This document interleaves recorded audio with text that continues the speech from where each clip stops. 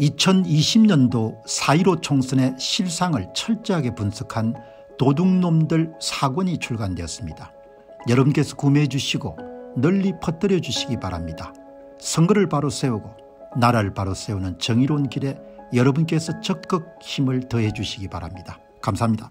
안녕하십니까 공병호입니다. 2023년도 12월 6일 수요일 이른 아침 방송 시작하도록 그렇게 하겠습니다. 자 여러분이 이제 보시다시피 이제 오늘은 혁신은 무슨 혁신이고 라는 그런 대주제 하에서 다음과 같은 그런 사건들을 다루도록 그렇게 하겠습니다. 자 우선 이제 오늘은 이제 어제 밤에 여러분들 생겼던 그 유동규 씨 대장동 백형동 개발 비리 사건에서 양심의 목소리를 계속해서 이렇게 발신해 가지고 이재명 측과 또 이재명을 지지하는 그런 사람들로부터 미움의 대상이 되고 있는 유동규 씨 사건에 관한 부분을 우선 다루도록 그렇게 하겠습니다. 뭐 사건이니까 우연일 것이다 이렇게 볼 수가 있죠. 그런데 좀 석연치 않은 부분들이 있기도 하기 때문에 대개 여러분들 자동차 추돌 사고라는 것은 앞차가 정지 상태에서 대부분 일어나지 않습니까 근데 고속도로 상에서 추돌 사고라는 것은 좀 예외적인 경우죠. 고속도로 상에서는 대부분 그런 운전자들이 안전거리를 확보하는 부분에 굉장히 익숙하기 때문에 좀 석연치 않습니다. 예, 그래서 그 사건을 한번 오늘 봐야 될 것 같은데 이게 이제 0038이니까 뭐 밤 11시나 이 정도에 아마 일어난 사건 같은데 고속도로로 이동하던 중에 뒤에서 달리던 대형 트럭에 후미를 추돌당하는 사고가 일어났다. 그러니까 뭐 우연이라고 이렇게 대부분 생각해야 되고 그런데 조금 석연치 않은 부분 가운데 하나는 고속도로 상에서 후발 추도 사건이라는 것은 일어나기가 굉장히 어렵거든요. 그렇기 때문에 다행히 유동규 씨는 생명에는 아마 지장이 없는 모양입니다. 180도 회전 뒤에 분리대와 충돌하고 1차선의 차가 아마 근데 다행히 그 시간대에 차량 통행이 좀 뜸했기 때문에 생명에는 지장이 없기 때문에 다행으로 봅니다. 제가 이제 기사를 보고 굉장히 놀랬던 것 중에 하나는 뒤에서 달려온 대형 트럭에 후미를 추돌당하는 안전거리를 전혀 그러니까 한 가지 가능성은 대형 트럭의 운전사가 졸았거나 뭐 그렇게 될 가능성이 있는데 후미 고속도로 상에서 후미 추돌 사고는 드문 경우죠. 예. 그래서 추가적인 내용을 보니까 과천 의왕 고속도로에 올라서 경기도 화성시 자택으로 향하던 길에 뒤에서 달려온 8.5톤 카고 트럭에 추돌당했고 그래서 이제 아마 사고가 난 모양입니다. 당시 상황은 아마 지인들을 만나 가지고 유동규 씨가 약주를 한 잔 했겠죠. 예, 상황이 상황인 만큼 그러니까 아마 조수석에 앉고 대리운전 하시는 분을 불러가지고 차를 운전하고 있던 예, 그런데 이제 당 사고 당시 1차로를 주행하던 차가 없었기 때문에 후속 사고는 천만다행으로 일어나지 않았다. 이렇게 볼 수 있는 거죠. 자 그런데 이제 우리가 여기서 한 가지 생각은 지금 더불어민주당이 뭐 거의 아주 과격하게 폭주를 하고 있지 않습니까? 국무위원들을 탄핵하고 그것도 심히 앉혀 가지고 이재명 관련 담당 차장을 여러분들 탄핵하고 그다음에 또 탄핵을 계속 위협하고 그러지 않습니까? 거기나가 또 이제 또 하나는 이낙영 씨는 당대표자 당대표를 지냈지 않습니까? 그리고 이재명과 맞붙어 가지고 대선 후보를 지냈던 분이죠. 그 이낙영 씨를 개딸들이 주동이 돼 가지고 나가라 민주당에서 그게 이제 이상민 오선 의원의 그런 민주당 탈당과 맞물려 가지고 일반적인 그런 상식을 가진 사람 같으면은 현재 민주당 내의 분위기가 어떻게 흘러가고 있는지를 대충 알 수가 있는 것이죠. 사람에게서 가장 좀 제거하기 힘든 그런 감정이 시기심 그다음에 정오심 그다음에 피해의식 이런 것은 제거하기가 참 힘들죠. 그 가운데서도 이제 폭력을 불사할 수 있는 것은 정오심 같은 경우죠. 그러니까 이런 사건에 대해서 우리가 합리적으로 의심을 할 수가 있는데 그 밑에 이제 독자 의견들을 보니까 대부분이 의심을 해요. 이 장면은 진짜 영화에서 많이 나오는 장면인데 누가 일부러 뭘 하려고 한 걸 아닌지 너무 의아스럽다. 여기에 대해서 이런 설문조사가 1312명이 찬성하고 9명이 반대니까 되게 생각하는 사람들은 그 어떻게 후미에 추돌 하지 이렇게 생각하는 겁니다. 또 푸님은 홍 누군가 자동차 사고를 위장하여 유동규 씨를 뭐 하려 한 것은 아닌지 설마 그런 것은 아니겠죠. 946명이 예, 찬성하고 7명이 이제 반대를 할 정도로 이제 그렇게 여러분들 사람들이 보는 겁니다. 그래서 이제 궁금하기도 해가지고 대체로 사람들이 어떤 생각을 갖고 있는가 이렇게 궁금한 점을 설문조사를 통해서 알아보니까 여기 보시면은 예 여기 설문조사를 보시게 되면은 유동규 씨의 차 대형 트럭이 후방에서 들이받다. 이 189도가 아니죠. 180도 189도는 없으니까 180도를 돌면서 고속도로 분리대와 충돌 생명은 이상이 없어 12월 예, 6일자 조선 기사를 이렇게 올렸더만은 그 밑에 이름들 우연한 차 사고라고 본다. 이게 3%밖에 안 되는 겁니다. 그다음에 둘째는 석연치 않고 의심이 든다. 이 96%나 되는 겁니다. 예, 설문조사에 응하신 분들이 1,800여 명 정도 되니까 뭐 상당히 이제 신뢰도가 있는 그런 설문조사 결과라고 볼 수 있겠죠. 설문에 응하신 분들의 성향은 제가 알 수가 없지만 잘 모르겠다가 1% 이내거든요. 90% 이상 정도의 분들이 의심을 하는 겁니다. 그리고 저와 똑같이 후미에서 어떻게 고속도로 상에서 추돌 사고가 일어났을까 대형 사고가 일어나지 않은 것이 굉장히 다행인 거죠. 예, 세상 사람들의 생각은 다 비슷하다 이렇게 봅니다. 아무튼 이번 사건을 그냥 단순하게 우연한 사건이다 이렇게 간주하지 말고 경찰이 사고를 범한 예, 운전자를 철두철미하게 조사를 해가지고 이런 의구심이 또 다른 그런 것으로 비화되지 않도록 조속한 시간 내에 사건의 전모에 대한 부분을 밝혀야겠다 이렇게 볼 수 있는 겁니다. 자 다음 여러분들 보시게 되면은 이스라엘의 살수 대첩 여러분 이 이스라엘이 이제 하마스 터널 문제가 굉장히 문제가 됐을 때 저는 이렇게 생각했거든요. 아, 이 두 가지 방법을 사용할 수 있을 것 같다. 다른 분들도 아마 그런 생각하신 분이 많았을 겁니다. 하나는 물을 집어넣는 방법이고 그럼 이제 터널들이 다 연결돼 있으니까 아무리 이런 중간에 이제 뭐 방호 등을 위해 가지고 안전을 위해 가지고 문이 있다고 하더라도 문이 물이 다 스며들 거 아닙니까. 그다음 하나는 이제 또 생각이 연기와 같은 부분을 주입하는 방법이 어떻겠는가. 지금은 이제 상황이 이제 인질들이 잡혀 있으니까 조금 특별한 상황이 하지만 물을 투입해 보는 것은 어떨까 이렇게 생각했던 사람은 있을 겁니다. 그런데 이제 전쟁이지 않습니까 전쟁이기 때문에 상상 가능한 모든 방법을 다 동원하겠죠. 이스라엘 측에서는. 그런데 이게 이제 어, 어제자 월스트리트 저널에 이 보도가 된 겁니다. 월스트리트 저널의 일면 톱 기사로 이스라엘이 이런 계획에 무게중심을 싣고 있다.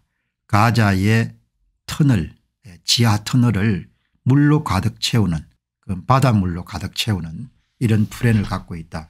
이런 내용이 이제 12월 5일자 월스트리트 저널에 실리고 난 다음에 모든 신문들이 다 받았단 말이죠. 이걸 받아가지고 다 세계 신문들이 다 다뤘는데 이제 오늘 보니까 조선일보에서 아주 예, 이 기사를 상시하게 다뤘네요. 이 가자 지역에는 이렇게 터널들이 예, 그러니까 이 각각의 터널이 연결돼 있을 법한 부분을 중심으로 해서 이제 예, 이 지중해 물을 끌어다가 이렇게 집어넣으면 되겠죠. 요즘에는 펌프 능력들이 굉장히 고성능이기 때문에 뭐 하루나 이틀 이렇게 그냥 부으면은 그냥 가득 채울 수 있을 겁니다. 예. 이번에 이제 이게 가자 지역이고 지금 전선이 확대가 돼 가지고 칸 유니스 지역 제2도시까지 지금 확장이 돼 있지 않습니까 외신 보도에 따르면 하마스의 지도부가 제2의 도시인 칸 유니스로 이렇게 이동했기 때문에 지금 가자 지역의 전쟁 상태가 남부 지역까지 지금 확전돼 있는 그런 상황이지 않습니까 네. 자 이런 내용인데 이제 한글판 조선일보는 오늘 일면을 다뤘네요. 지난달 중순 정도 11월이죠.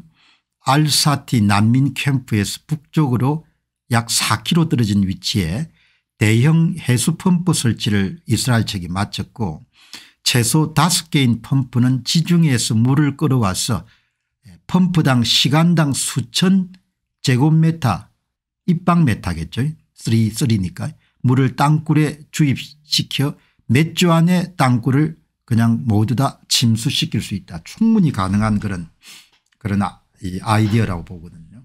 그리고 이스라엘이 갖고 있는 뭐 기술력이나 이런 걸 미뤄보게 되면 얼마든지 가능한 이제 지금 변수는 이제 인질들이 잡혀 있기 때문에 인질들을 구출하고 난 다음에 이와 같은 작전을 펼치 펼칠지 아닐지는 뭐 이제 그 사람들 손에 달려 있지만 아무튼 그 하마스 측에서는 영구적인 그런 전쟁 종식이 휴전 상태가 들어가지 않으면 나머지 인질을 풀어주지 않겠다는 거 아닙니까 이제 예, 그러니까 이제 이스라엘 네타냐후 총리가 그냥 예, 모사드 협상에 응하고 있는 국장을 소환해 가지고 여러분들 그다음에 이제 바로 전쟁을 재개한 거 아닙니까 어제 참 여러분들 아주 인상적인 글을 읽었습니다.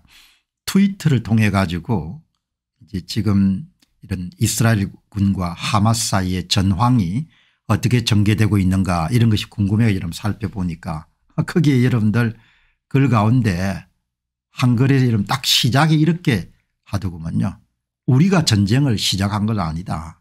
가지 지역의 민간인들이 피해를 보는 것에 대해서 많은 분들이 우려하는데 우리도 민간인을 보호하기 위해서 노력하겠지만 예. we didn't 예. start라 예. 우리는 전쟁 우리가 전쟁을 시작한 건 아니다. 그렇죠. 굉장히 중요한 굉장히 강력한 메시지인 거죠. 우리가 전쟁을 시작한 것이 아니기 때문에 책임 소재를 명확히 알아야 그게 여러분들 이번 사태를 보는데 이해하고 올바르게 판단하는데 굉장히 도움이 되는 그런 한 문장이죠. 예. 그런데 이제 이 IDF가 이스라엘 군을 총칭하는 예, 이스라엘 Defense Force라고 이렇게 표현할 겁니다. IDF 관계자는 예, 다양한 군사 기술과 무기를 사용해서 다양한 방법으로 하마스를 소탕하기 위해 작전을 수행하고 있다. 전쟁에 사용할 수 있는 다양한 선택지 가운데 하나를 갖고 있다. 뭐 핵도 여러분들 전쟁에 사용하는데 이기기 위해서는 뭐 해수 펌프를 가지고 지하 터널을 채우는 것은 뭐 그건 약과지 않겠습니까? 예, 그런데 가자 지구에서 인질들이 모두 석방되기 이전에 이스라엘이 해수 펌프를 사용하게 될지는 확실치 않고 몇 주 동안 땅굴을 침수시키는 과정에서 하마스 대원과 인질들이 땅굴 밖으로 나올 것이라고 이 계획에 정통한 한 관계자가 말했다. 이제 해수를 이렇게 그 엄청난 해수를 이렇게 지하 터널에 채우게 되면은 뭐 그 지역의 기반이 어떻게 되는지 모르겠지만 일단 그 하부에 여러분들 해수가 채워지고 상부에 건축물들이 있기 때문에 안전상의 문제도 있을 것이고 또 그쪽은 이제 더운 지역이니까 사막 지역이니까 식수난 같은 것이 심할 건데 식수난 같은데 많은 그런 영향을 줄 수 있기 때문에 이 이스라엘 군 입장에서는 언제 사용해야 될지 뭐 이런 부분을 고민하겠지만 전쟁 발발 초기에 터널을 무력화하는 여러 가지 수단 가운데 하나가 바닷물을 사용할 수 있다. 이렇게 생각했던 사람들이 많았을 건데 그거를 여러분들 이스라엘이 이제 쓰겠다는 거 아닙니까? 이런 지역마다 여러분들 다 터널이 또 다 연결돼 있을 테니까 그죠? 예, 터널 밑에 구조는 자세히 알 수가 없더라도 분명한 것은 이동을 원활히 하기 위해서 모든 터널들이 다 교차로가 있고 그다음에 연결돼 있을 거란 거죠. 그러니까 물을 부으면 뭐 그게 다 연결된 대로 흘러갈 거 아닙니까 이렇게 보시면 좋겠습니다. 예, 어떻든 이 이제 지하수 매장량이나 인근 건물의 안정성에 미치는 영향을 가늠하기 힘들다. 그럼 뭐 전쟁에 이기는 게 우선이니까 예, 그런 건 다 후순이죠. 뭐 가자 지역이 거의 지금 초토화됐지 않습니까 초토화됐는데 무슨 막 물 부족이나 이런 문제까지 이스라엘 군이 생각하겠느냐 그렇게 봅니다. 어쨌든 전쟁하는 거 보면 참 야물죠. 야무지게 예, 그렇게 작전을 수행하고 동시에 인상적인 부분 가운데 하나는 인명 손실이 굉장히 적다는 겁니다. 이스라엘 군의 작은 나라기 때문에 인명 손실을 굉장히 최소화해야 되는 그런 뭐 필요도 있겠지만 동시에 전쟁 수행 능력이 상당히 탁월하다 그렇게 볼 수가 있는 거죠. 예. 오늘 계속해서 이제 곽수현 씨는 하마스는 인간이 아닙니다. 뭐 이렇게 이야기가 나오는데 예. 정말 참뭐 예. 옹호하시는 분도 안 있겠습니까 뭐 그럼에도 불구하고 일단 테러를 가지고 민간인을 살상을 했으니까 그리고 전쟁을 본인들이 개시했으니까 예. 그러니까 뭐 거기에 대해서는 더 이상 이야기할 게 없는 거죠. 그래서 이제 외신을 통해 가지고 그런 서구의 그런 대도시에서 반이스라엘 그런 반유대주의와 관련된 그런 뭐 항의 시위나 또 특히 미국의 주요 대학들인 콜롬비아나 그다음에 하버드 대학의 일부 학생들이 그런 반유대주의 그런 전선에 동조하고 그런 걸 보면은 그러나 그런 모든 것에서는 근거가 있어야 될 거 아닙니까 가장 중요한 것은 예, 우리가 이번 전쟁을 시작하지 않았다는 거죠. 그들이 테러를 감행했다. 이렇게 굉장히 중요한 몇 가지 그 포인트만 딱 짚고 있으면은 그 다음에 다 해결이 되지 않습니까 우크라이나 러시아 전쟁이 터졌을 때도 러시아 푸틴을 옹호하시는 분이 굉장히 많았지 않습니까 그, 그, 뭐 설득할 제가 재간이 없어요. 그렇게 믿는 사람들은. 아마 이 방송을 지금 듣고 아니 공 박사님 역사를 몰라서 그렇습니다. 이렇게 하시는 분도 계실 거예요. 내가 설득할 뭐 그런 의향이나 이런 게 없습니다. 그렇게 믿고 있으면 그렇게 믿고 가는 거죠. 그러나 어떤 이유를 불문하든 간에 독립국가 영토를 그냥 침략하는 건 아닌 거죠. 가장 중요한 부분들만 딱 정확하게 정리가 되면은 세상사를 이해하거나 또 진단하는데 실수를 안 하는 거죠. 이렇게 여러분들 보시면은 좋겠습니다. 한 몇 분 의견을 보니까 티타노바께서 잘 하고 있습니다. 이전에 제가 꼭 같은 주장을 했는데 이제 실행에 옮기는군요. 해수 주입하면 일단 땅굴은 물바다가 되고 침수를 막기 위해서 폐쇄하면 사용이 불능이 되기 때문에 낮은 비용으로 효과가 높은 대책입니다. 이렇게 여러분들 간단하게 말씀하시네요. 704명이 찬성하고 8명이 반대하는 거죠. 이렇게 여러분들 정리를 하시면 좋겠습니다.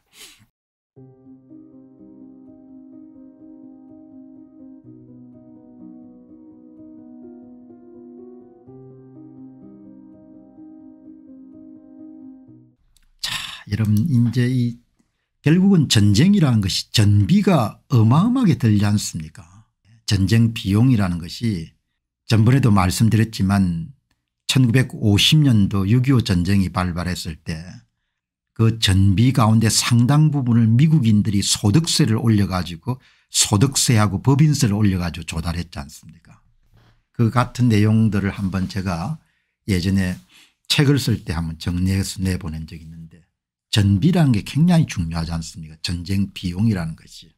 그런데 이제 젤렌스키 우크라이나 대통령이 상당히 이제 불우한 것 중에 하나가 전혀 예상하지 못한 그런 이스라엘 전쟁이 지금 터진 거 아닙니까 그럼 이제 미국에서는 유대인들의 영향력이 막강하기 때문에 뭐 미국도 자원이 무한한 게 아니니까 그 자원을 우선순위를 매겨야 되면 당연히 이스라엘 쪽에 먼저 전비를 지원할 수밖에 없지 않습니까 이게 그래서 진짜 쩐의 전쟁이 되는 겁니다. 돈의 전쟁이. 이제 러시아 측도 기본적으로 뭐 재정 적자가 누적이 되고 악화가 되는 건 사실이지만 그 나라는 이제 LNG라든지 석유가 재정 수입의 한 46%, 한 50% 가까이 될 겁니다. 그게 비교적 그래도 여유가 있는 거죠. 팔 수 있는 것이 있으니까. 그래서 참 젤렌스키라는 대통령이 참 어려운 상황에 있는 것 같아요. 지금 현재 상황은 백악관은 미 의회에 대해서 이스라엘 지원안 그다음에 또 우크라이나 지원안을 동시에 연계해서 통과시켜 달라. 그런데 이제 미국의 공화당 의원들이 지역구에서 우리가 왜 다른 나라에 그렇게 전비를 지원해야 되냐 이렇게 해서 우크라이나와 예산안을 통과를 안 시킨 모양입니다. 여기 보시게 되면 은 미국 하원의 공화당 의원들이 우크라이나 지원 예산을 거부하고 있고 백악관은 이스라엘과 우크라이나 동반 지원 예산안을 제출하는 그런 상황인 거죠.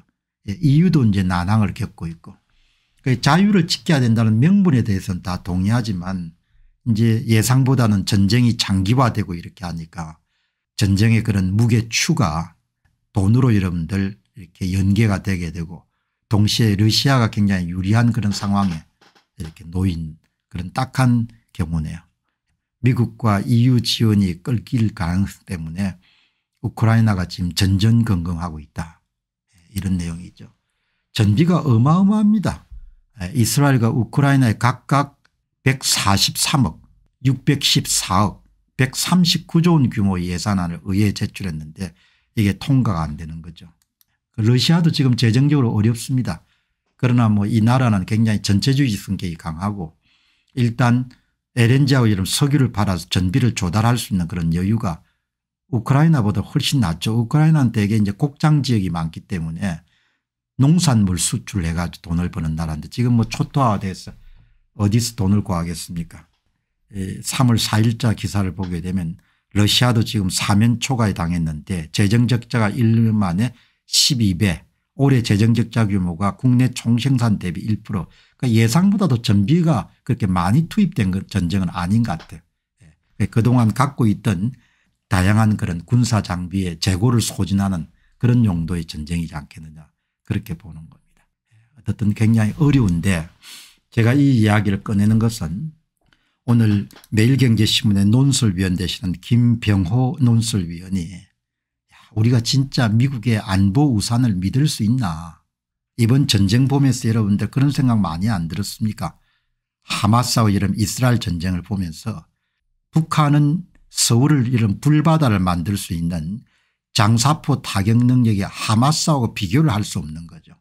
그래도 이런 하마스의 여러분들 그런 대포라든지 그런 미사일 공격에 대해서 로켓포라든지 이런 거에 대해서 한 85% 정도는 이스라엘의 대공 방어망인 아이둠이 다 잡아냈지 않습니까 그래도 피해가 많았는데 우리는 전혀 그런 게 없지 않습니까 동시에 여러분들 몇천 발 몇만 발 정도가 북한으로부터 날아오게 되면 서울이 초토화될 수 있을 거라고요. 그런데 그 사람들 또뭘 갖고 있습니까 핵을 갖고 있지 않습니까 장사포로 때려가 여러분들 싹쓸이하고 그다음 핵을 가지고 전쟁 시작하면 터뜨리겠다 하면 되겠냐 이야기죠.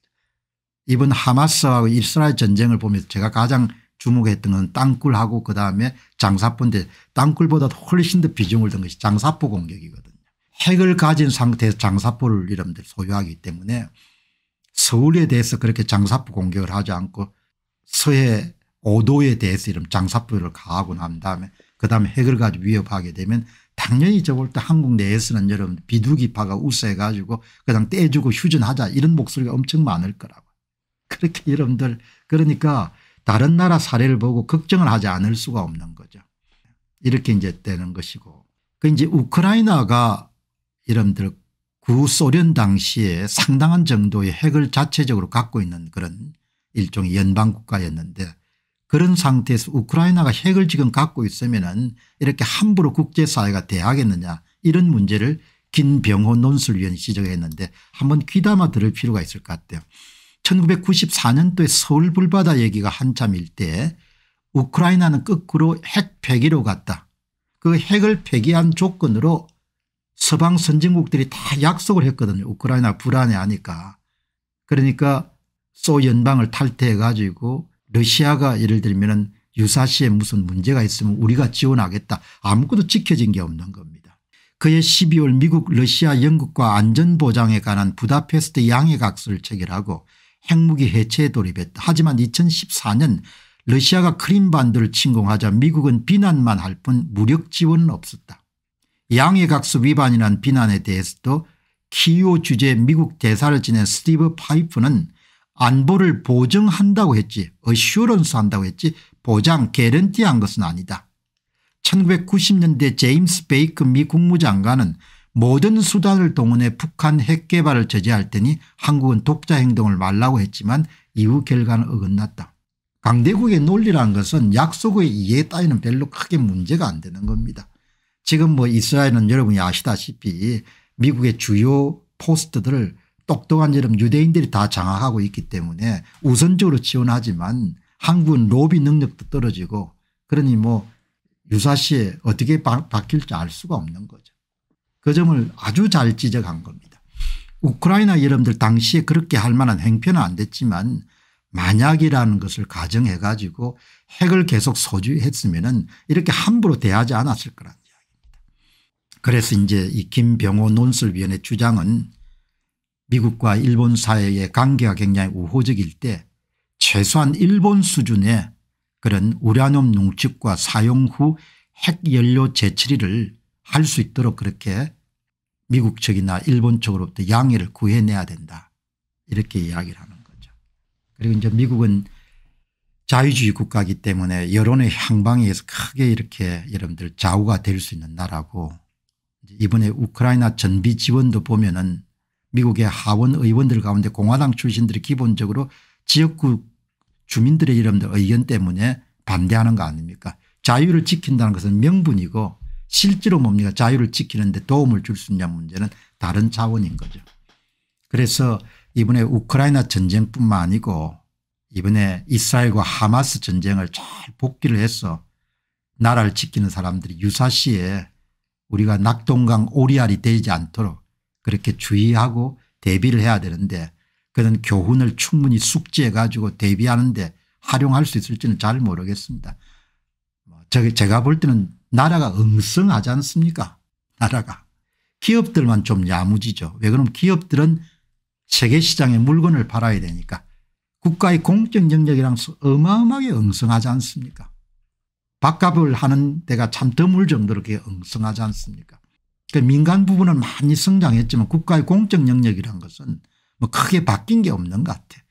그 거물이 어마어마하게 여러분들 그 성근 거죠. 그 여러분 한번 보시기 바랍니다. 장사프로 서울 이북을 뭡니까 초토화 시켜버리고 핵을 가지고 뭡니까? 덤벼? 그럼 터뜨려? 이렇게 하면 미국이 이름 하겠습니까?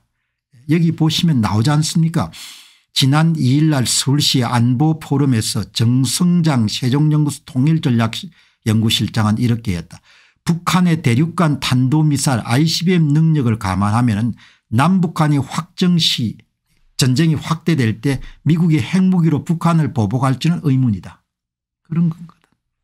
안보 상황이 악화되면 핵 확산 금지 조항 탈퇴와 미국 무기나의 핵 개발 추진이 바람직하다. 각자 알아서 살 길을 찾아야 되는 거죠.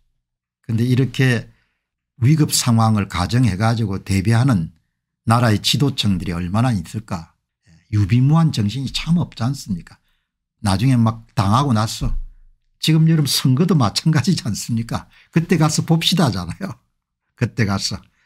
뻔히 예상되지만 뭐죠? 그때 가서 다 상황 전개되고 나서 봅시다. 그러지 않습니까? 그래서 이제 이제 또 이제 당장 미국의 대, 대선에서 이제 트럼프 전 대통령이 당선되고 난 분위기가 또 많이 급변하겠죠. 자, 여러분들 오늘 뭐 이렇게 비관적인 이야기를 계속 하겠다는 뜻은 아니고 경각심을 좀 갖고 우리가 양전쟁에서 많은 것을 배워야 되지 않겠느냐 그렇게 생각합니다. 사회가 여러분 어마어마하게 물렁물렁하지 않습니까 참 보면은 울산시장 선거 부정 사건은 부정선거를 저지른 거지 않습니까 그런데 아마 여러분 1심 판결이 그렇게 5년이 지나서 나서 이렇게 예, 내려져서 6년째 정도 돼서 내려진 거죠. 그 행량을 보고 야 어떻게 부정선거를 했는데 행량이 그렇게 뭐 2년 3년 빠질 놈들은 다 빠지고 그렇게 대해서 생각했던 분이 계실 건데 검찰 측에서도 형량이 너무 가볍다. 그래서 제가 나라가 어떻게 이렇게 물렁물렁한지 일벌백계 같은 것이 참 드문 것 같아요. 죄를 저지르게 되면 선거 부정을 한 것은 국사범이지 않습니까 국사범에 대해서 이렇게 가벼운 형량이 적용되니까 보시게 되면 검찰이 이제 항소를 했네요. 울산시장 청와대 하명 사건이 1심 판결이 형량이 너무 낮다는 겁니다. 예, 사안의 중대성에 비해 선고형이 너무 낮다. 특히 이제 주범에 해당하는 송철호 전 울산시장 황운하 민주당 의원에 대해서 각각 여러분들 징역 3년 형량이 낮고 사실 오인과 법리 오해가 있다. 너무 낮은 거죠. 부정선거를 저질렀는데. 그러니까 하기야 뭐 울산시장 선거는 그래도 수사라도 했으니까 그렇지만 그 전에 어마어마한 여러분들 선거관리위원회 조직적이고 전국적인 규모의 부정선거는 일제 뭐 수사 한 번 없는 나라가 됐으니까 그 나라의 기강이나 기틀이 완전히 허물어진 겁니다. 죄를 저지르도록 뭐죠 전혀 처벌을 받지 않는 사회가 돼버렸으니까 검찰이 이제 이번에 황소하게 된 계기는 피고인 12명에게 유죄가 선고된 부분에 대해서 공무원이라는 공적 지위를 이용해 선거에 개입해서 그 결과를 왜곡시키는 등 사안의 중대성에 비춰 가지고 형량이 너무 낮았다. 1심 판결 가운데서 무죄가 선고된 공공병원 공약 지원 후보자 매수 부분에 대해서도 1심의 판단이 객관적인 법리에 배치되는 점이 있고 사실 오인과 법리 오해를 이유로 항소했다. 조직적으로 선거에 개입한 거 아닙니까 그러니까 참 뭐 수많은 사람들이 모여 사는 세상이니까 좀 이렇게 엄한 부분이 있어야 되는데 선거 부정을 이렇게 경미한 사건으로 다루니까 그러니까 그냥 예 그냥 부정선거가 일상이 되고 제도화가 된 나라가 돼버린. 이 선거 개입은 민주주의 근간을 뒤흔든 위중한 범죄인데 고작 형량이 그것이 불과합니까 판사분들이 정신을 못 차린 겁니다. 103명이 찬성하고 1명이 반대한 겁니다. 이렇게 여러분들 그리고 빠진 사람도 많지 않습니까 선거 공작에 무죄가 어디 있습니까 더 상위층들은 다 빠졌지 않습니까 일부 수석들하고 대통령 그죠 이렇게 여러분들 돌아가는. 이 황운하 씨도 선거 부정을 통해서 당선된 사람이고 그다음에 송철호 씨도 다 선거 부정을 통해서 당선된 사람들이지 않습니까 그 선거 부정에 여러분들 가장 중요한 역할을 한 사람들이 대한민국의 선거관리위원회잖아요. 여러분 이게 이게 황운하의 청와대 여러분들 울산시장 하명 사건 당시에 2018년 울산시장 선거거든요. 이 울산시장 선거의 북구를 보시기 바랍니다. 북구. 선거관리위원회가 발표한 후보별 득표수를 분석하게 되면 조작값 10%를 찾아낼 수 있거든요. 그 국민의힘 김두겸 후보가 얻은 사전투표 득표수 100장당 15장 10장을 마이너 처리하고 같은 수만큼을 송철호와 함께 플러스 해준 거거든요. 그 김두겸 후보가 얻은 사전투표 득표수 16,101장 가운데 1610표를 훔친 겁니다. 그리고 1610표를 더해 준 거죠. 그럼 총 사전투표 득표수 조작 규모는 2220표를 훔친 거죠. 뭐 규모는 크지 않지만 어떻든 표를 전산 조작을 한 겁니다. 전산 조작을 해가지고 조작값 10%를 이용해 가지고 김두겸 후보가 된 사전투표 득표수에서 훔쳐가지고 송철호 후보와 함께 더해지도록 이렇게 조작을 한 겁니다. 이 범인들에 대해서는 일체 여름 대한민국 사회가 침묵하는 겁니다. 그렇게 나는 내 눈에 여름 대한민국은 그냥 개떡 같은 나라인 겁니다. 나라가 나라가 아니에요.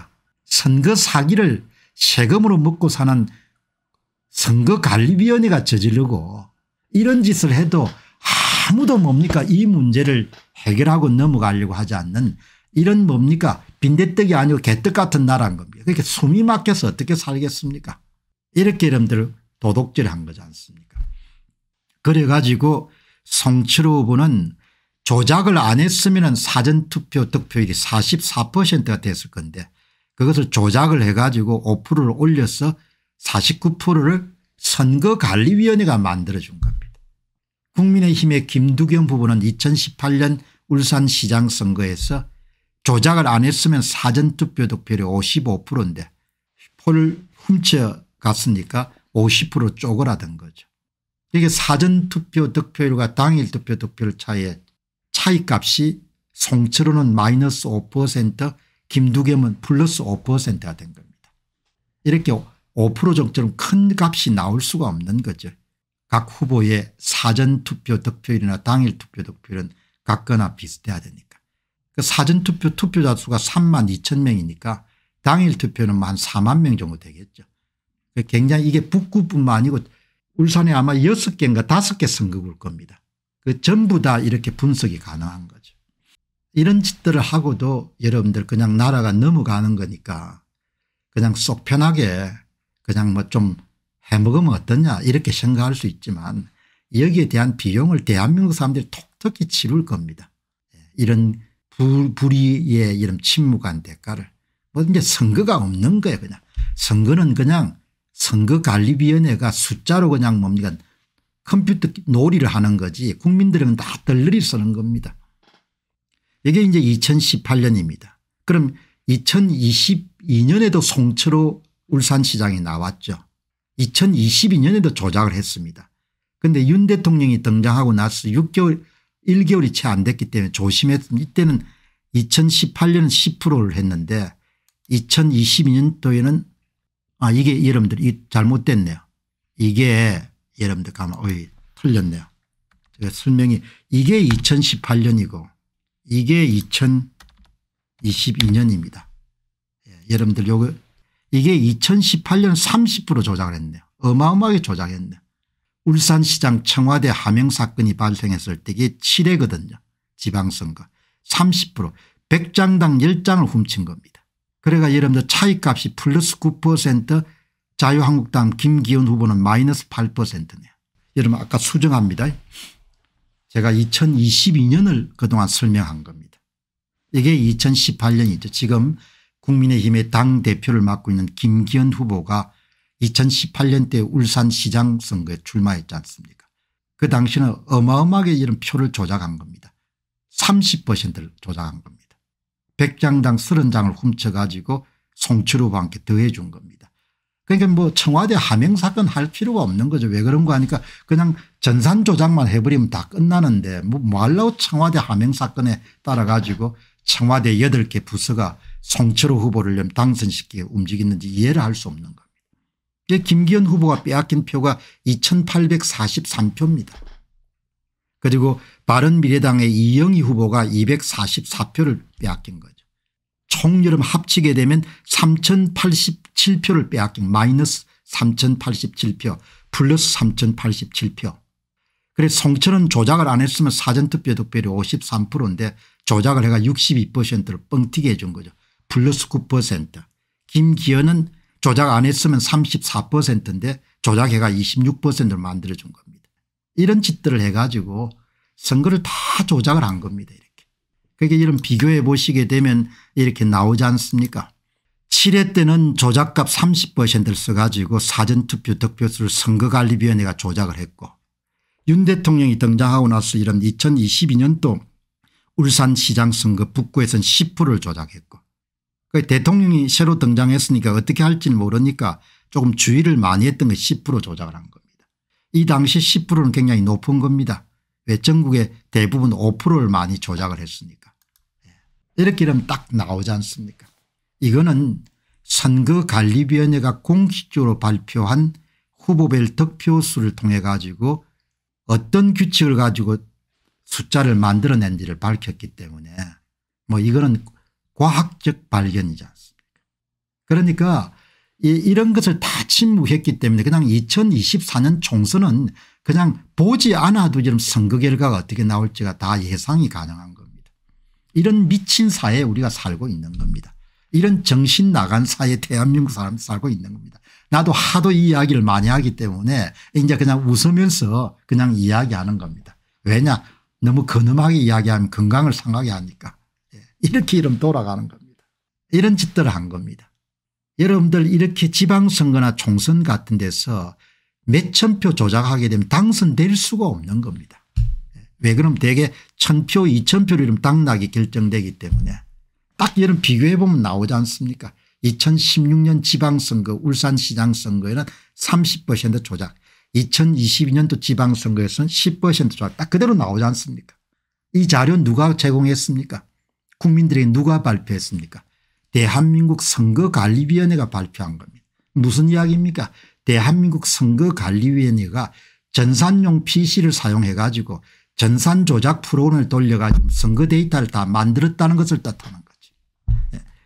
대한민국의 선거관리위원회가 2017년 대선부터 9번 여러분들 공직선거에서 조작값을 사용해 가지고 프로그램을 짜 가지고 조작값을 입력해 가지고 모든 자료가 다 이런 전산 조작으로 조작되도록 만들었는데 그것이 민간인들의 노력에 의해서 여러분들 완전히 다 까발겼는데도 그걸 먼저 듣고 2024년 무슨 혁신하면 이긴다고 여러분 저 야단 법석을 지고 있는 겁니다. 완전히 내가 볼 때 정신이 나간 게가 아니고 미친 사람들인 겁니다. 나라 전체가 미친 거예요. 나라가 나라가 완전히 내가 볼 때는 맛이 완전히 가버린 겁니다. 예. 무슨 이쪽에서는 K방산 K팝이 하지만 내가 들여다볼 때는 거의 뭐죠 쏙빈 강정들입니다. 선거가 부정이 일어나가지고 북한하고 비슷한 체제가 돼버렸는데 K방산이 뭐고 K팝이 뭐냐 이야기죠. 거기 중에 뭐가 남겠냐 앞으로 이야기죠. 이렇게 보면 은 기가 찬 거죠. 예. 어떻든 참 물렁물렁한 사입니다. 예, 저하고는 참 궁합이 잘 안 맞아요. 궁합이. 예. 뭐 이게 사람 이게 절도가 있고 뭡니까 이 뭐가 좀 엄한 면이 있어야 될 거 아니에요 사회가 온 전신이 다 사기고 사기를 치더라도 다 이, 여기서도 뭐 이렇게 덮어주고 저기서 덮어주고 무슨 고소고발하면 또 다 검찰에 손을 써가 이러면 다 못하게 하고 이런 짓들 하고 있는 겁니다. 자 그럼에도 불구하고 계속 사실과 진실을 이렇게 밝히려고 하는 노력은 계속돼야 된다 그렇게 생각이 듭니다.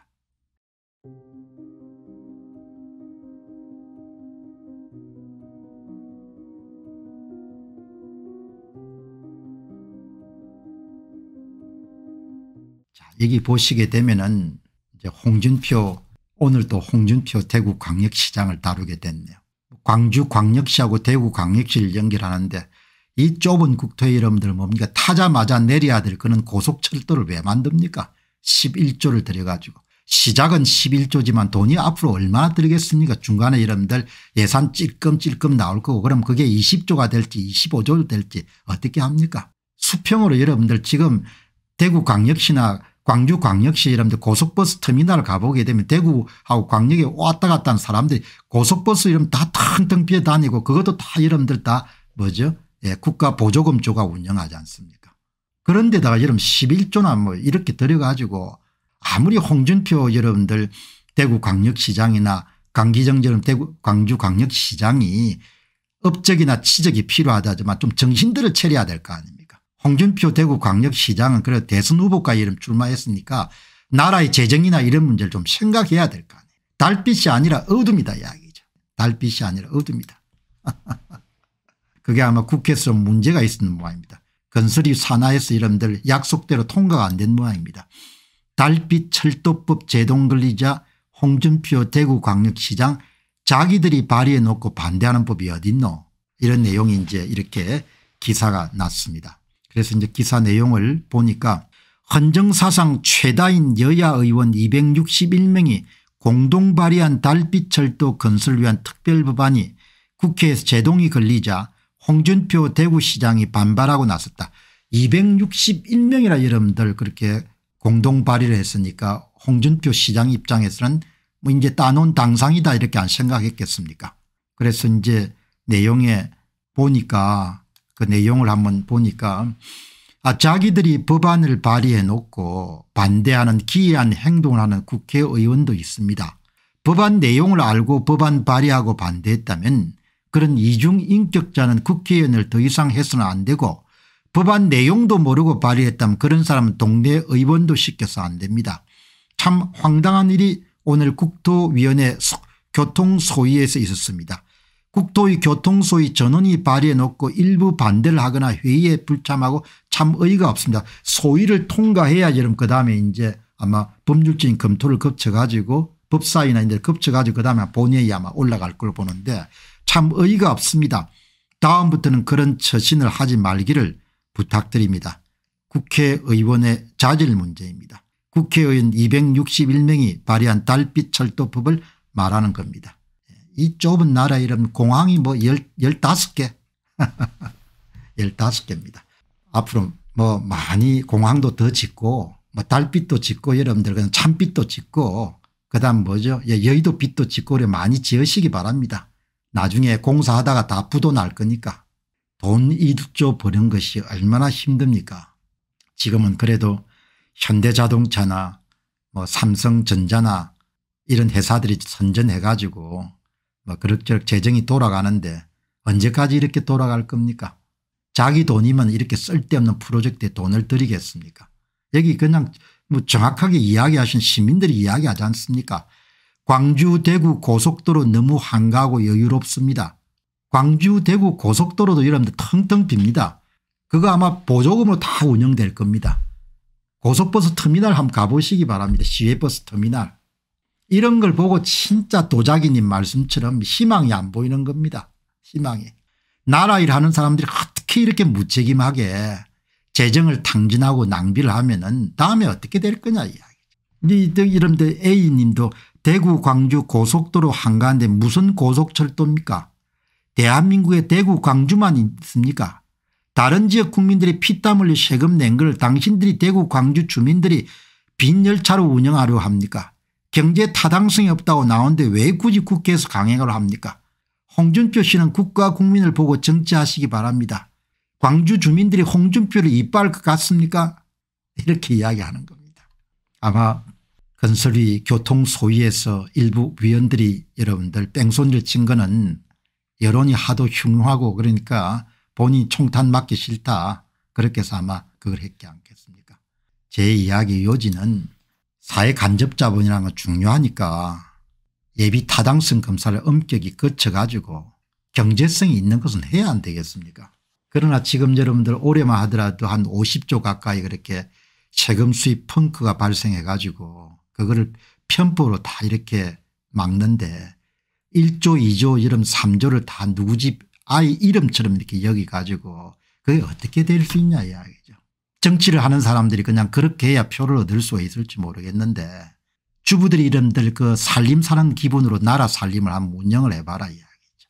세금 부담이나 그런 것은 준조세 부담이나 건강보험료 부담 이라는 건 계속 늘어나니까 그게 다 생산활동을 위축시키는 데 도움이 되고 그다음에 내수를 위축시키는 데 도움이 되지 않습니까 이 쓸데없는 프로젝트를 기획하게 되면 토목공사하는 사람들은 재미를 좀 보겠죠. 땅값 보상받는 사람이나. 그러니까 나라 전체를 생각해야 되지 않습니까 그렇게 해가지고 되겠냐 이야기죠. 홍준표 대구 광역시장도 이제 시장을 맡았으니까 한 건이 필요하지 않습니까 모두가 다 한 건입니다. 예. 우리 윤석열 여러분들 대통령께서도 한 건이 필요했으니까 그렇게 엑스포에 올인을 하신 거 아닙니까 대구 광역시나 광주 광역시도 예, 그냥 다 한 건 한 건 필요하니까 할거 아닙니까 그렇게 하면 안 되는 거죠. 나라 상황이 이름 참 어렵습니다. 서울대학교 경제학부의 김세직 교수가 이야기하는 이야기가 있지 않습니까? 한 30년 정도 대한민국 이런 경제를 쭉 분석을 해보게 되면 잠재 성장률이 5년마다 1%포인트씩 내려가는 거지 않습니까? 이번 정부는 잘못하면 0%까지 떨어질 수 있다는 그런 경고를 하지 않습니까? 그게 추세선을 그려보면 쭉 하강세를 이런 그리지 않습니까 옛날에 만들어 놓은 대기업 때문에 근근히 버티고 있지만 어떻게 이렇게 어? 외환위기 때 여러분들 그 바쁜 종종 걸음을 다 긋고 이번도 여러분들 일본하고 관계가 호전이 돼 가지고 100억 불에 대한 외환 수합 여러분들 협정이 맺어질 정도로 그렇게 매사를 준비를 단단히 해야 되는데 이렇게 예산들을 탕진을 해 가지고 나라의 이름 예산 규모가 647조 원이 어떻게 됩니까 그걸 지탱할 수 있겠습니까 난 지탱 못한다고 봅니다. 그 대한민국은 반드시 부도 날 겁니다 한 번 정도로. 예. 재정위기 때문에 감당할 수가 없는 나라가 될 거예요. 그게 뻔히 보이는데 그렇게 하면 안 되는 거죠. 다음 주제 한번 여러분들 다뤄보도록 그렇게 하겠습니다. 이게 여러분들 보시죠. 무슨 혁신입니까 이게. 참 여러분 보면은 이게 보시게 되면은 이제 오늘 중앙일보가 이렇게 국민의힘의 혁신위원회하고 당 사이에 이렇게 갈등을 다뤘는데 그 사설을 제가 이제 꼼꼼히 읽어보면서 혀를 끌끌 차게 돼요. 이 보시게 되면은 국민의힘 지도부가 내년 총선 승리를 위해 주류가 희생하는 모습을 보이라는 혁신위원회 요구를 외면했다.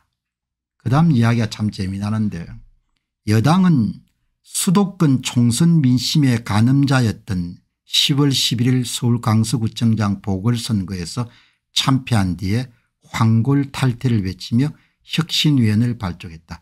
이 문장 하나 자체가 완전히 거짓말이잖아요.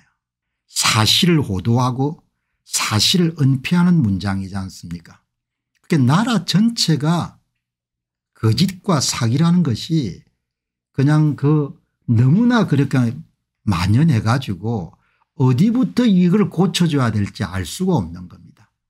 기명으로서는 칼럼도 아니고 무기명으로 쓰는 칼럼에서 이렇게 거짓말을 중앙일보가 떳떳이 하는 겁니다. 여당은 수도권 총선 민심의 가늠자였던 10월 11일 서울 강서구청장 보궐선거에서 참패한 뒤에 이게 다 거짓말이잖아요.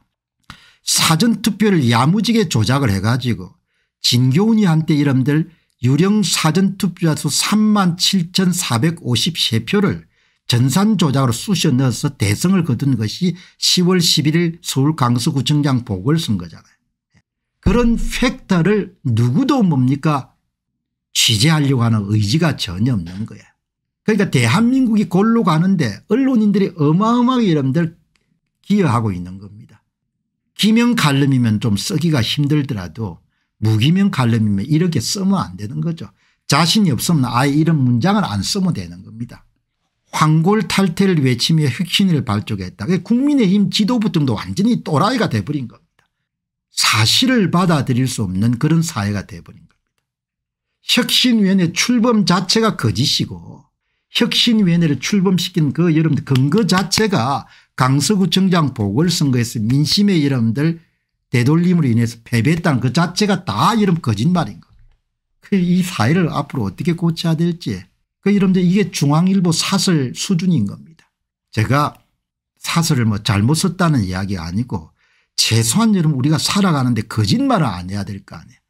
사실을 뭉개는 노력은 안 해야 될 거 아니에요. 중앙일보가 이렇게 여러분들 중앙뿐만이 모든 게 여당이 민심의 매서운 관찰과 기억력을 망각하지 않기를 바란다. 전체가 기본 출발점이 잘못됐기 때문에 전체가 다 거짓말인 겁니다. 이렇게 해서 그런데 이런 사설에 대해서 이 사설이 갖고 있는 맹점이나 이런 부분을 시민들 가운데 몇 분 정도나 여러분들 파악하고 있는가 이렇게 보더라도 거의 없습니다. 그러니까 그냥 참 선동하기 좋은 그런 사행. 예. 혁신 자체가 여러분들 시작부터 잘못된 겁니다. 혁신을 진짜 해야 될 것은 사전투표 제도를 혁신해야 되는 거죠.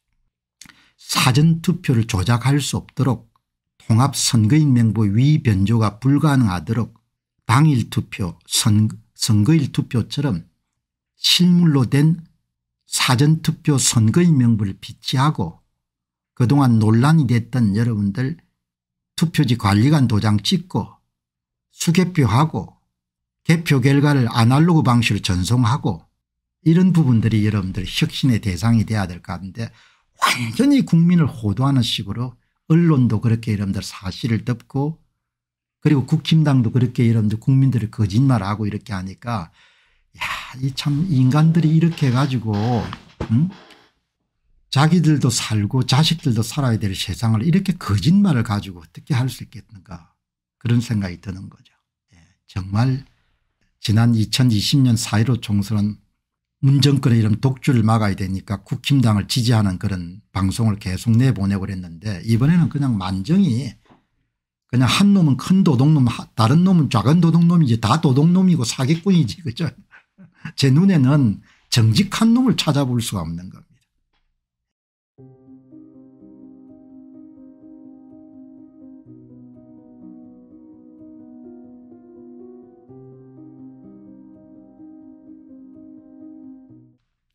여러분 보시기 바랍니다. 그냥 지금 한국 사회라는 것은 조선 사회하고 똑같은 거죠. 뭐. 서양 선교사들이 한국을 왔을 때 기억에 남는 것이 그렇게 굿이 많았지 않습니까 무속이 무속이 많아가지고 밤에 이런 정적을 깨뜨리는 소리는 그 문명옷 여러분들 이저 바르게 하는 그런 다다미 소리하고 그다음에 무당 소리였다는 거 아닙니까 무속적인 사고가 지금도 너무 강한 것 같아요. 과학을 숭배하고 이런 부분이 너무나 연약한 겁니다. 이 보시게 되면은 이 오늘 또 중앙일보입니다. 중앙일보의 이 편집국장입니다. 예병준 중앙 썬데이 편집국장. 겉으로 드러난 양상으로 보면은 엑스포 유치전의 참패는 강서구청장 보궐선거와 닮은 꼴이다. 17%포인트 차로 여당이 패배했다는 구청장 선거 결과가 나오던 날 밤 윤석열 대통령은 왜 정확한 상황을 진작 보고하지 않았냐고 참모들을 질책했다고 한다. 이미 선거 현상의 표심은 기울어져 있었고 다 거짓말이잖아요. 이거를 여러분들 이렇게 중앙이나 조선 여러분들 대표 칼럼니스트들이 버젓이 해가지고 기정사실화한 겁니다. 그 이 사회는 과학이란 게 없는 겁니다. 과학이란 것이. 그러니까 그냥 양복들 입고 이렇게 뭐죠 좋은 물건들 소비하지만 그냥 조선의 시대 사람들하고 크게 다를 게 하나도 없는 거죠. 기가 찬 겁니다. 이 보시죠. 이미 선거 현장의 표심은 기울어져 있었고 여당 내부에서조차 두 자릿수 득표율 차이로 질 것이라 말하는 사람이 적지 않았지만 대통령에는 제대로 보고되지 않았다는 것이다. 이게 여러분들 중앙일보의 썬데이의 편집국장의 수준인 겁니다.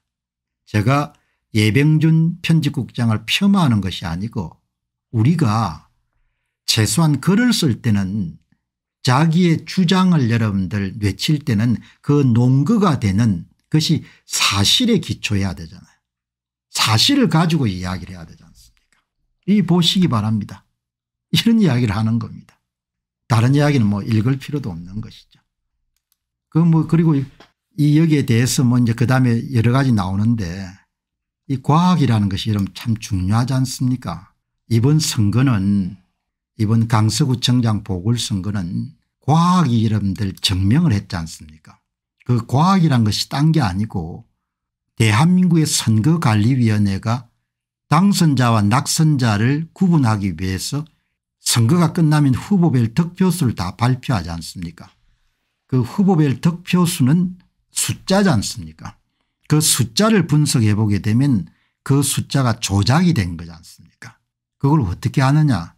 통계학의 이름들 공리 법칙은 표본의 수가 큰 경우에 특정 후보의 총득표율과 사전투표 득표율과 당일 득표 득표율이 같거나 비슷해야 된다 이렇게 규정하고 있지 않습니까? 일명 통계학의 대수의 법칙이지 않습니까 그런데 선거관리위원회 이름들 자료를 딱 다운로드를 받아 가지고 후보별 사전투표 득표율 빼기 당일 투표 득표를 구해보면 어떤 현상이 나옵니까? 무진장 차이값이 크지 않습니까?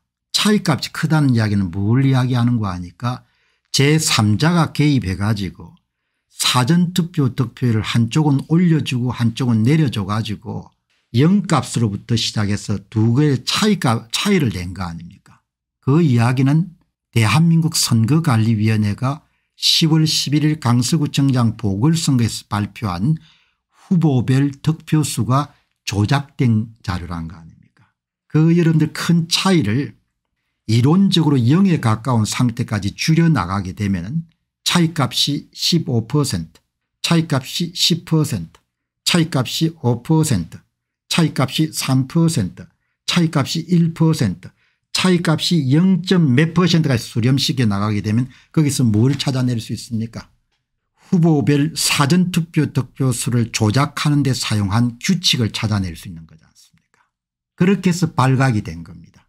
선거관리위원회가 저지른 사전투표 득표수 조작은 그냥 감이나 촉으로 발견된 것이 아니고 숫자를 조작했기 때문에 이론적으로 여러분들 선거에서 나타나야 될 후보별 득표수와 가장 근접한 상태까지 줄여나가는 과정에서 정확하게 여러분들 조작에 사용한 규칙을 찾아내고 그 규칙을 활용해 가지고 선관위가 여러분들 만들어낸 자료를 복구할 수가 있지 않습니까? 그 그걸 찾아보니까 이런 뭐가 나왔습니까? 이번에는 신종 사기수법을 사용했고 그 신종 사기수법이 선관위가 발표한 사전투표율을 뻥튀긴 겁니다. 실제로는 여러분들 15%대 여러분들 사전투표를 참가했는데 22.64%로 발표한 겁니다.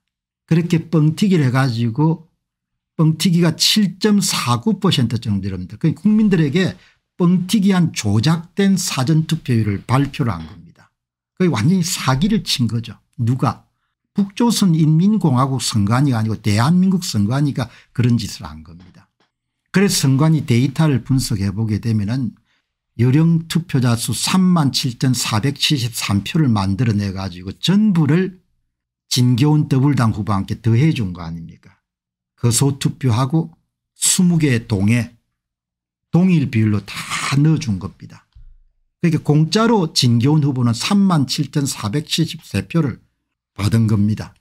3만 7,473표를 받았으니까 압도적인 승리를 할 수밖에 없는 거예요. 이거는 억지가 아니고 그냥 과학을 통해서 발견한 거 여기 수정이라는 것은 실제입니다.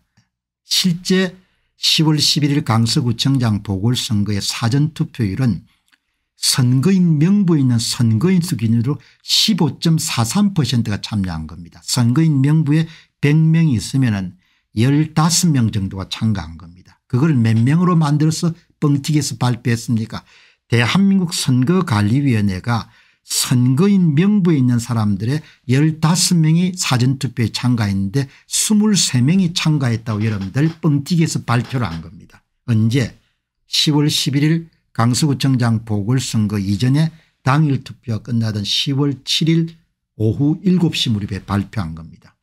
그러니까 7.49%를 뻥튀기 한 겁니다. 그러면 실제 사전투표율과 발표 사전투표율 사이에 격차가 선거인 수 기준으로 7.49%인데 그게 여러분들 선거인 수 투표자 수 기준으로 하면 몇 표를 확보하는 거 아니까 여기 나온 것처럼 3만 7,473표를 확보한 겁니다.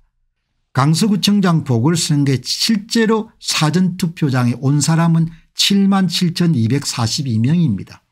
그거를 대한민국 선거관리위원회 몇 명이 왔다고 발표한 겁니까 11만 4,715명이 이름 왔다고 발표한 겁니다. 이걸 전부를 3만 7,473표를 누구 함께 쑤셔 넣어준 겁니까 진교훈 후보 함께 쑤셔 넣어준 겁니다. 동별로 몇 표를 쑤셔 넣는 거에 다 이렇게 발각이 되지 않습니까 이게 푸른색이 선관위가 더불당의 진교훈 후보 함께 넣어준 여러분들 득표수입니다.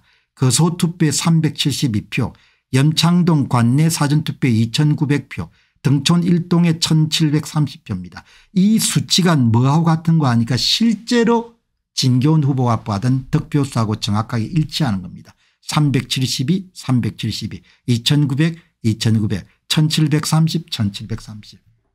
대한민국 여러분들 언론사에 있는 사람들이 대부분 문과 출신일 겁니다. 그럼에도 불구하고 너무 여러분들 예 죄를 심하게 범하고 있는 겁니다. 이렇게 이름들 다 조작을 해가지고 선거 데이터를 만들어서 더불당의 진교훈 후보가 압승한 걸 만든 겁니다. 이거를 대통령도 다 여러분들 외면하고 김기현도 외면하고 조선중앙동화 KBS MBC가 다 외면한 겁니다. 나는 나라가 뭐죠 나중에 이 선거 부정 때문에 망해도 그냥 싸다고 봅니다. 예, 이 나라는 그냥 정상적인 나라로 이름 남을 수가 없을 겁니다. 이런 걸 하나도 이름 고치지 않고 2023 총선을 저질이 치르겠다고 저렇게 무슨 혁신위원회가 어떠니 공천위원회가 어떠니 저렇게 생야단들을 지으는 겁니다. 그 결과까지 다 나오지 않습니까 예. 강서구청장 보궐선거 수준을 이런 조작을 하게 되면 은 7.5%를 사전투표를 뻥튀기 하면 은 329만 표를 여러분들 확보해서 쑤셔 넣을 수가 있고 그럼 여러분들 더불당이 압승하는 214석을 차지할 수 있는 겁니다. 이게 다 나오지 않습니까 이렇게 과학적으로.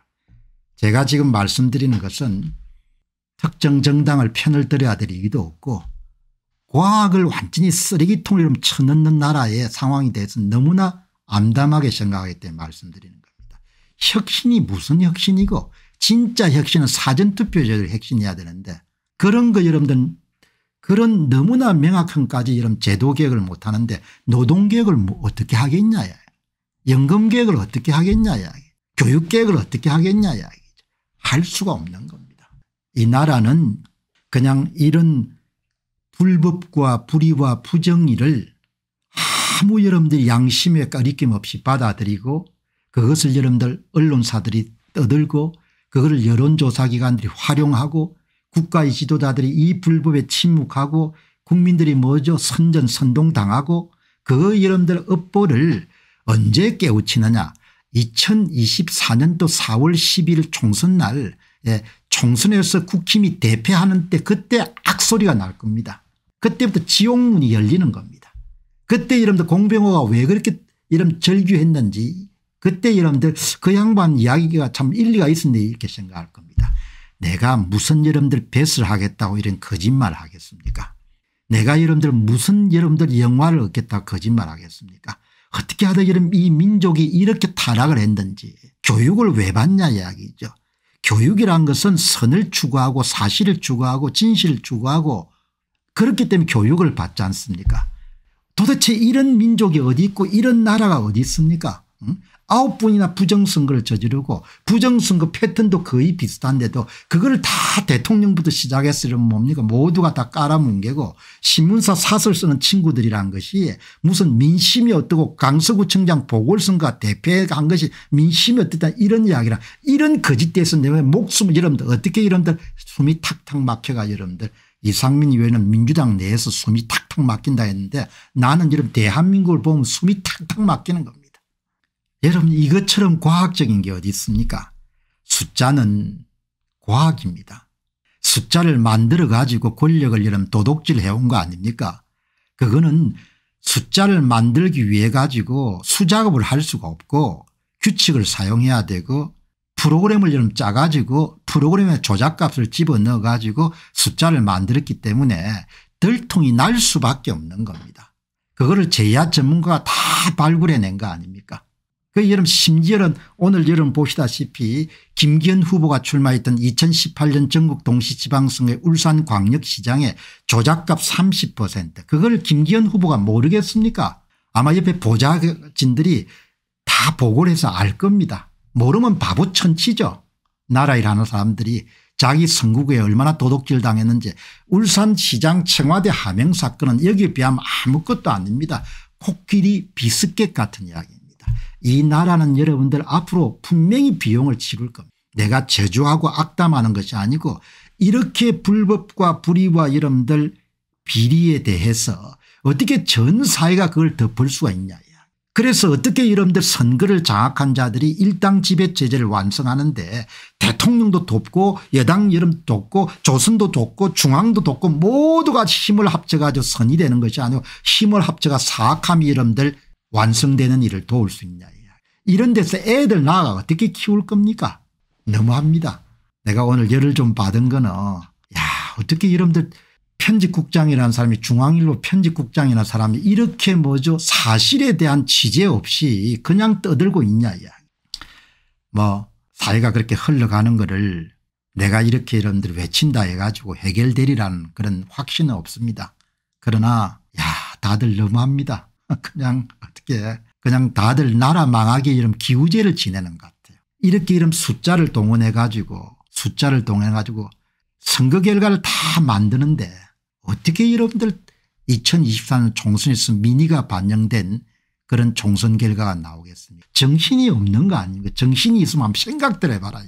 숫자를 다 만들어가 여러분들 이렇게 선거 데이터를 다 만들어가 이렇게 발표를 하는데 당신들이 어떻게 여러분들 민의가 반영된 선거 결과를 만들어낼 수 있는 야, 대법관들도 그렇고 헌법재판관들도 하기야 뭐 본인이 싫으면 뭐할 수가 있습니까 본인이 뭐 싫으면 본인이 떠나든지 하는 수밖에 없죠. 뭐. 어마어마한 사회입니다. 이 불법과 불이라는 것이 너무나 이렇게 이런 심각한 수준에 도달한 것. 도둑질을 한게 이렇게 다 밝혀졌지 않습니까 동별로 몇 표를 도둑질한 게 다 나오지 않습니까 염창동에 2900표를 도둑질했고 등촌 1동에 1730표를 도둑질했고 등촌 제2동에 1416표를 도둑질했고 등촌조사당에 2108표를 도둑질한 걸 누가 도둑질했습니까 선거관리위원회 도둑질에 표를 넣어준 거지 않습니까 누구한테 더불당 후보한테 네. 알아서들 다 살아야겠죠. 살아야겠지만 하도 여러분들 그렇게 뭐 이런 진실을 이야기하는 사람이 드물기 때문에 다시 한 번 더 강조하는 겁니다. 강서 보궐선거는 무자비한 사전투표 득표수 조작을 통해서 이루어진 선거지 민의가 반영된 선거가 아니다 이야기죠. 너그 거짓말 그만해라 이렇게 이야기를 하는 겁니다. 그리고 한국인들은 이 불법과 불의를 묵인하고 방조하고 무관심하고 은폐한 대가를 분명히 치를 거다. 2024년 4월 총선 결과 한번 보라고요. 그냥 야무지게 조작해 가지고 그냥 200석을 넘기게 되면 그때 뭡니까 정신 차리는 사람이 있을지 모르겠지만 아 그때도 이렇게 할 겁니다. 아 민의가 그쪽에 이름 쏠려가 결국은 더불당이 압승을 했습니다. 이렇게 해서 끝나겠죠. 그걸로 여러분들 대한민국 국민들은 참정권을 다 박탈당하는 겁니다. 더 이상 이제 그걸 찾을 수 있는 길은 없는 겁니다. 자 여러분들 오늘 어 방송 여기서 이제 마무리하고 또 내일 새로운 주제를 가지고 방송 드리도록 그렇게 하겠습니다. 마무리하기 전에 광고 하나 드리게 되면은 뭐 여러분들이 익히 알다시피 이 선거 부정 문제를 체계적으로 정리한 책이 지난 6월 달에 마무리된 도둑놈들 1권부터 5권입니다. 여러분께서 또 읽어보시고 또 주변에 많은 분들이 읽을 수 있도록 그렇게 널리 알려주시기 바랍니다. 그리고 공병호 tv에서는 한 달 전부터 세계 역사에 대한 그런 아주 보기 드문 한국인이 쓴 그런 통사인 기독교로 보는 세계 역사를 또 보급하는데 많은 관심을 갖고 있습니다. 여러분들이 독서하시는데 관심이 있으신 분들은 이 책도 한번 주목해 보시면 좋지 않겠느냐 그렇게 제가 추천해 드립니다. 자 여러분 오늘 방송 마무리하고 또 내일 새로운 주제를 가지고 아침 5시 50분에 여러분 찾아뵙도록 하겠습니다. 감사합니다. 여러분들께 정말 훌륭한 책을 한 권 소개해 드리도록 하겠습니다. 김동주 박사님 역사학과 신학에 대한 상당한 조예를 가지신 분이 26년 동안의 연구를 총집결한 책이 바로 기독교로 보는 세계 역사란 책입니다. 우리나라에서도 역사 뒤집기를 위해서 좌우 진영이 굉장히 격렬하게 싸우지 않습니까? 그만큼 이제 역사를 어떻게 해석하느냐, 바라보느냐가 굉장히 중요하죠. 세계사란 큰 관점 속에서 좌우에 치우치지 않고 반듯한 그런 역사적 관점을 가질 수 있지 않겠냐 그렇게 생각합니다. 기독교로 바라보는 세계사 이 책이 한국사뿐만 아니고 세계사를 반듯하게 올바르게 바라보는데 여러분들이 큰 지침이 될 것입니다.